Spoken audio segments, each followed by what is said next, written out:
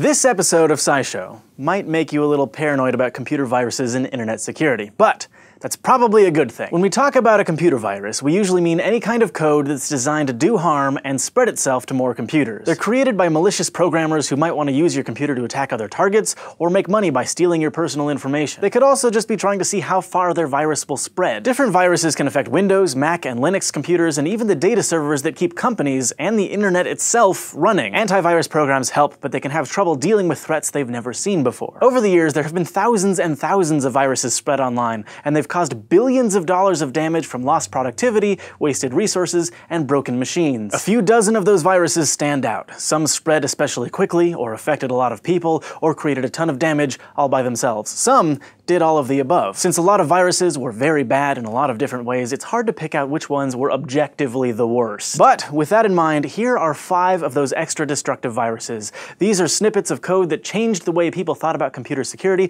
both the people designing the viruses and the people trying to protect against them. Say it's May 1999. You're an unsuspecting computer user who's never gotten a virus, let alone been trained to look for the signs that an email might be malicious. You get an email from someone you know with a subject line that says it's an important message. The message inside just says, here's that document you asked for. Don't show anyone else with a winking emoticon. The attachment is a Word document labeled list. So you click on it because you're curious, and a lot of porn sites pop up. At this point, you realize the email was probably some kind of virus. But it's too late. The first 50 people in your address book have already gotten a copy of the exact same email, with a subject line saying the message is from you. That was the Melissa virus. It spread through Microsoft's Outlook email program, and even though the attachment seemed like an innocent Word document, it was able to infect computers because of something called a macro. A macro is a specific kind of computer program that's used to create shortcuts. In Word, they're meant to make it easier to edit a document. Instead of manually making a set of changes to the document one by one, a macro is a piece of code that will let you do it all with one click. The problem is, that functionality gives macros a lot of power over your computer.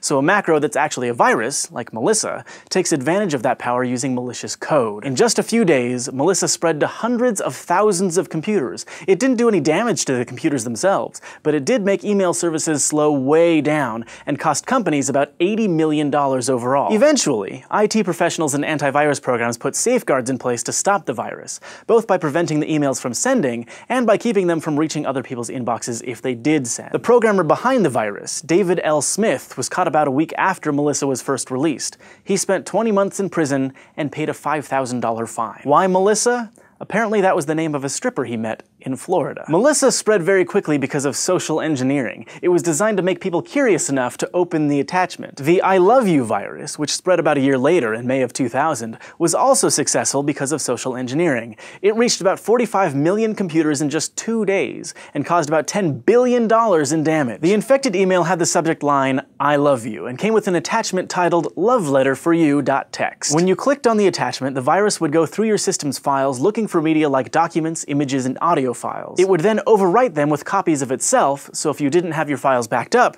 you'd lose all your data. Meanwhile, the virus would send itself to everyone in your address book. I Love You was a type of virus called a worm, which means that it was a standalone program that didn't use a host program to run, the way Melissa used Microsoft Word. It looked like a text document, so opening it seemed relatively harmless, but the Love Letter for You file was actually a type of file called a Visual Basic script, which uses the file extension .vbs. Users couldn't see the VBS at the end of the file name though, because the Windows operating system they were using was hiding file extensions by default. Visual Basic scripts send your computer a list of instructions to execute. So, if they're meant to cause harm, they can be very dangerous and do things like delete all of your files. Like Melissa, the I love you worm was mostly contained after a few days. It was filtered out of people's inboxes and companies released fixes for machines that had been infected. But plenty of damage had already been done. The virus was attributed to two programmers in the Philippines, but even though they were both arrested, they were released because at the time, there weren't any laws against what they'd done. I Love You showed just how easily and quickly a worm could spread and how much damage it could do. On January 25th, 2003, just before 6 a.m., the internet broke. South Korea lost both internet and cell phone service. 300,000 people in Portugal couldn't connect to the internet.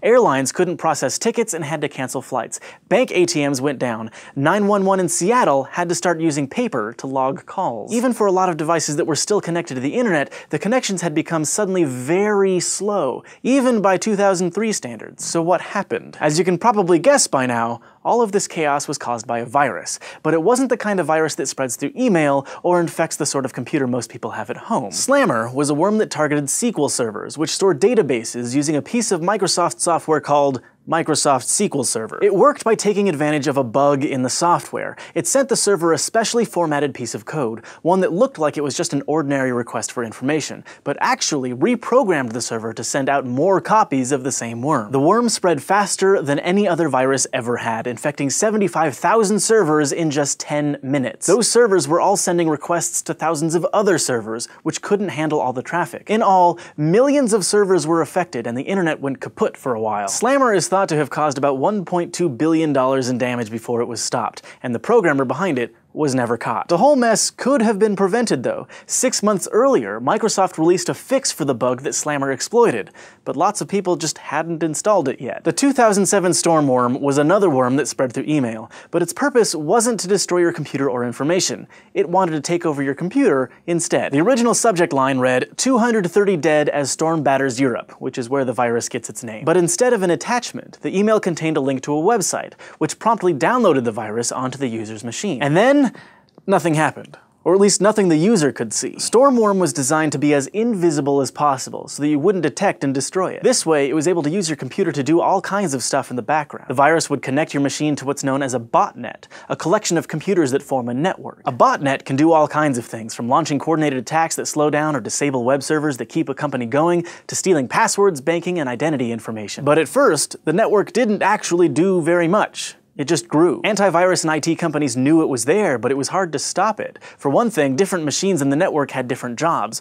Only a small fraction of infected computers were in charge of spreading the virus. Another small set of computers served as the command and control centers, which sent out instructions and helped control the rest of the botnet. The rest just followed those instructions. So even if you shut down most of the computers spreading the virus, the network would still be out there doing its thing. But it was hard to stop Stormworm from spreading in the first place. Sure, it started out as an email about a storm in Europe, but soon there were emails with all kinds of different headlines. And since they were coming from someone in your address book, they seemed relatively innocent. To make matters worse, antivirus programs had trouble finding the virus on an infected machine. The code for Stormworm was designed to change every half hour, so it always looked different. At its peak, the Stormworm botnet consisted of about 1.5 million machines. The programmers didn't seem to be using it for anything nefarious though. They just sold the network to other criminals and scammers. After a while, companies did figure out how to stop the virus from spreading. They removed it from infected machines, and by late 2008, the botnet was mostly gone. But like with Slammer, the people behind it were never caught. Mebroot is also a virus that slowly started to spread in 2007, and its main goal was also to hook you up to a botnet called Torpig. Both are especially sophisticated. Mebroot usually gets into your computer via a drive-by download, where you visit a malicious web page and the program downloads in the background without you even knowing it. From there, it overwrites what's known as the master boot record, the part of your computer's hard drive that stores the instructions that tell your computer how to start up. Being able to control the master boot record gives Mebroot a lot of power, because it can tell your computer what to do right from the start. And what it tells your computer is to connect to the Torpig botnet, which then steals all of your information. Torpig uses a spying technique known as man in the browser, which is as creepy as it sounds. It lurks in your browser, logging everything you do and any private information you happen to enter. It'll also try to actively steal information using fake websites that look and behave exactly like the originals, but send the data to the Torpig servers instead. And all the while, you'd never know it was there. By late 2008, Torpig had stolen info connected to 500,000 bank accounts, and again, the people who created it haven't been caught. By now, you might be wondering whether a worm will make the internet go down tomorrow, or whether your computer is secretly part of a botnet, and I don't really blame you. There are things you can do to avoid getting viruses. Install an antivirus program. Don't click on suspicious links or emails from Nigerian princes. Keep your operating system and computer programs updated with the latest security patches. Computers are amazing, but they just do what they're told, and when viruses tell them to do bad things, it can create a lot of damage. Thanks for watching this episode of SciShow, brought to you by our patrons on Patreon. If you want to help support the show, just go to patreon.com slash scishow, and don't forget to go to youtube.com slash scishow and subscribe. It goes across the top and along the left side, and each row contains the letters A to Z shifted over by one. So the first line starts with A and ends with Z, but the second starts with B, goes all through the letters until Z, and then